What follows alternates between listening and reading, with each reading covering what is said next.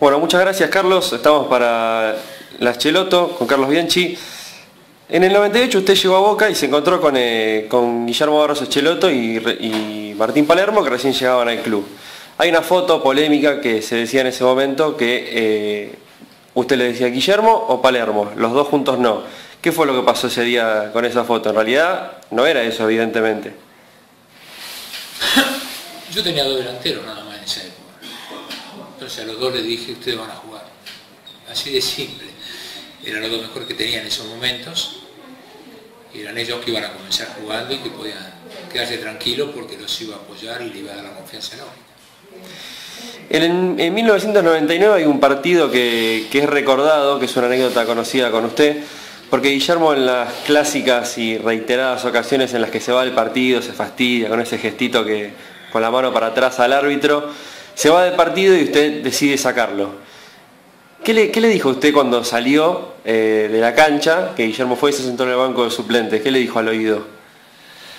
Sacate todos los berretines que tenés en la cabeza.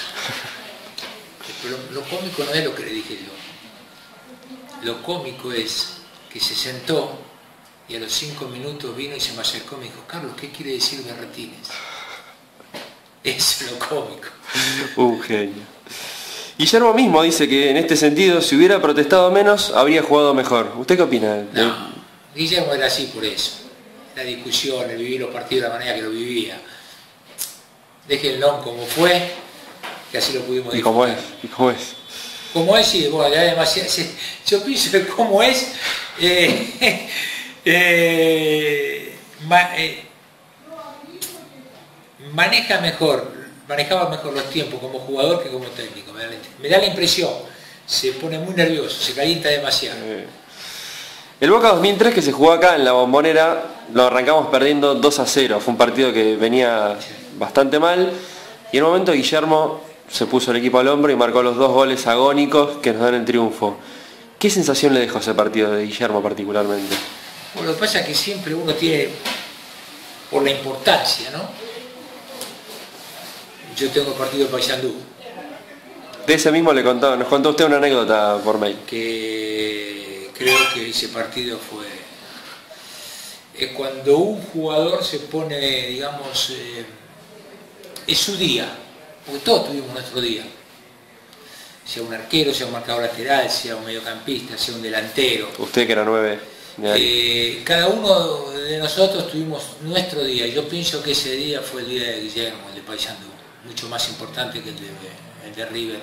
Usted le, en Paysandú, en ese partido, en el tercer gol de, de, Boca, hay una jugada que el defensor de Paysandú tira un pelotazo para arriba, eh, perdón, Bataglia tiene un pelotazo para arriba que le caía al central brasileño y usted le grita a Guillermo, anda Guille, anda Guille. ¿Usted desconfiaba? Yo, yo, yo, yo estaba convencido que le iba a errar. Y le erró era el instinto de, del 9 que fui. Entonces yo sabía, estaba seguro de que tenía que arrancar antes para poder aprovechar la situación que iba a crearse a partir del momento que el defensor iba a terminar equivocándose. Una vez el pelado Moner, eh, el antiguo central, eh, dijo, Guillermo maneja muy bien los tres perfiles, el zurdo, el derecho y el oral. Para ustedes, ¿verdad? No, el oral es cualquiera, hablaba en la cancha todos hablamos en la cancha de una manera o de otra. A él tenía los dos perfiles que eran importantes, el derecho y el izquierdo, que era para hacer la diferencia, que era lo que le aportaba a él a, digamos, al equipo, toda su, toda su inventiva. Por último, ¿qué recuerdo le dejó Guillermo como jugador en la, en la etapa más que, más que nada como persona? ¿Qué tiene que ver él con esos berretines, con lo que es afuera de la cancha? Ah, eso, eso. Yo pienso que si él hubiera nacido unos 20 años antes hubiera sido un, un porteño tremendo, porque eh, tiene las cosas de los, de los, pibes de barrio, de los, de la, de los chicos que, que, nos criamos, digamos, eh, en la calle, pero en el buen sentido de la palabra. En la Como calle. en el puesto de diario.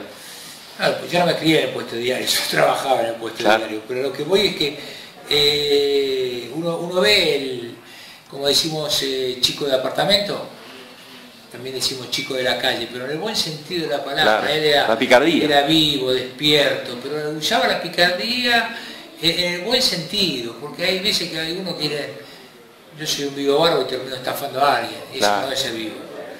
Eh, él era, digamos, era tenía mucha chispa, mucho ingenio. Y calidad humana. Eh, eso aparte. Bueno, Carlos, muchísimas gracias por todo el tiempo que nos dedicó y desde la Cheloto le mandamos un saludo grande. Un abrazo muy grande. Felicidades, Carlos.